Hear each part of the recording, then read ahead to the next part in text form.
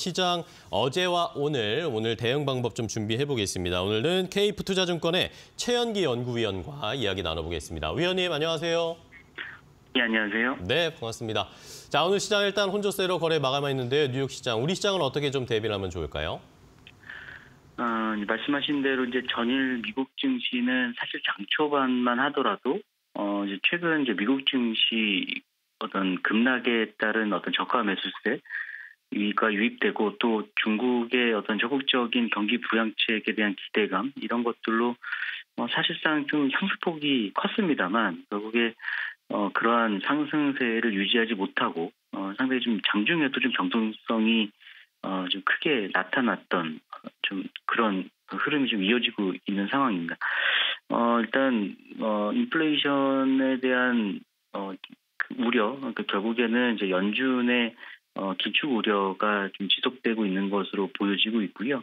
어, 최근 그 미 연준 위원들의 좀 발언을 보면 결국에는 어, 물가를 억제하기, 물가 상승을 억제하기 위해서 어, giant step, 그러니까 big step이 아닌 어, 좀 큰 폭의 좀 금리 인상이 필요하다라는 주장 그리고 어, 연말까지 어쨌든 그 중립금리 근, 뭐 중립금리 이상의 어떤 금리 상승이 좀 필요하다라는 점이 좀 계속 좀 확인이 되면서 어 인플레이션 정점 통과에 대한 기대감이 있음에도 불구하고 어 긴축에 대한 우려가 어 아직까지는 좀 어, 시장의 좀 변동성을 키우고 있다라고 좀 보고 있습니다.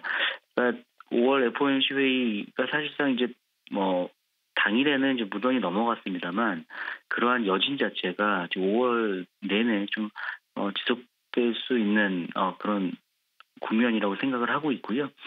어, 뭐 말씀하셨습니다만 이제 4월 미국의 소비자 물가가 결국에는 전월보다는 어, 수치가 그러니까 전년 동월 대비 수치가 이제 떨어지고 사실상 이제 전월비의 상승폭도 줄어들기 때문에 줄어들 것으로 예상이 되고 있기 때문에 어, 인플레이션 정점 통과에 대한 기대감 높아질 수 있겠습니다만 어, 이제 시장의 반응이 좀 더 중요할 것 같습니다. 그러니까 어, 결국에는 그 정점 통과에 좀 방점을 찍을 것이냐 그럼에도 불구하고 연준의 물가 안정 목표치와 여전히 괴리가 크다라는 점에 방점을 찍을 것이냐에 따라서 시장의 방향성이 좀 크게 달라질 것 같고요.